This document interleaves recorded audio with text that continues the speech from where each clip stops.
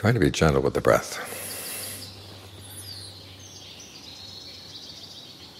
You're trying to create a sense of well-being inside. You can't push things around too much.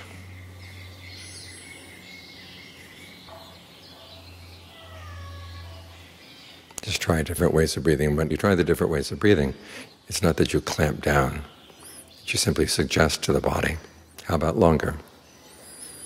See how it responds. How about shorter? See how it responds.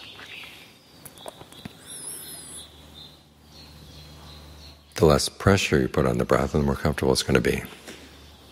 And then it can flow smoothly. When you're putting pressure on things inside, you're actually putting pressure on the water element, the blood, the lymph, the other liquids in the body.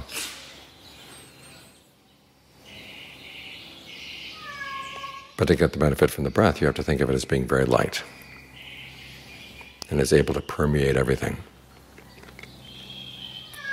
So it doesn't require pressure.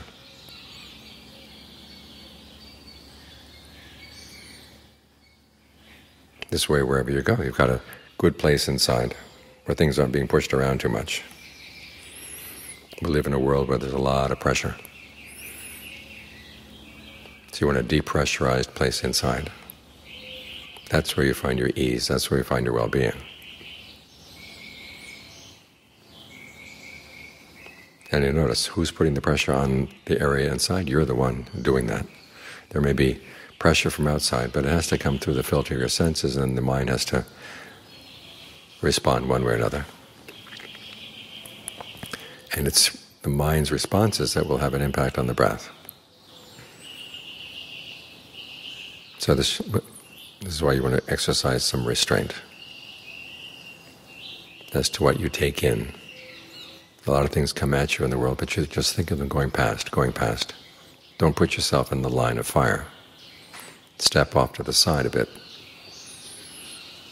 The pressures of the world, the currents of the world can go flowing, flowing past. You don't have to pick them up. You don't have to bottle them up inside. Once they get bottled up inside, then there's a question of how you're going to get them out. And usually it's through saying something unskillful, doing something unskillful.